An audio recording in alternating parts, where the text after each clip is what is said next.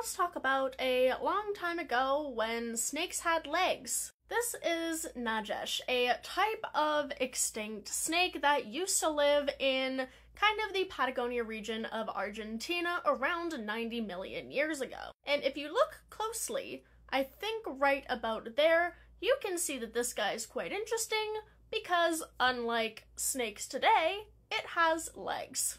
This lad lived in the late Cretaceous period, and during that time it was not uncommon for snakes to have legs, but what is uncommon is that these guys had fully functional legs with a pelvis and a girdle and all of that, whereas most of the other contemporary contemporary, fuck me, snakes of that time had very small vestigial non-functional legs. This is also quite the interesting fossil specimen because it throws the already hotly debated origin of snakes discussion for a whole nother loop. Previously, it was a common hypothesis that first snakes evolved as we know them now in marine environments. They some people thought that they evolved from the mosasaur, yeah, that guy, and they lost their legs while being mainly marine dwelling instead of terrestrial. Now, it's more thought now that snakes did not, in fact, evolve from mosasaurs,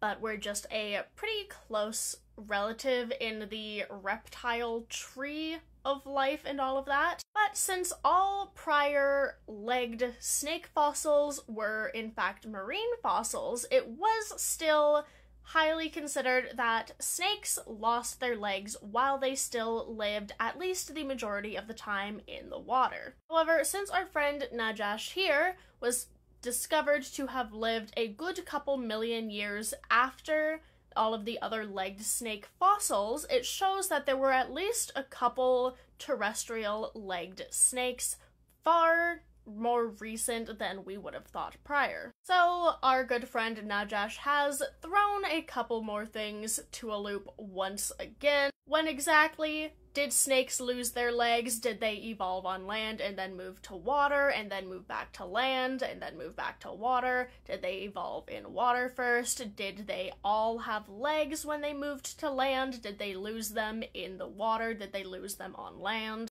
Did different types of ancient snake species lose their legs at different times? Did some regrow legs? There's a lot of debate about snake evolution and historical ancestors.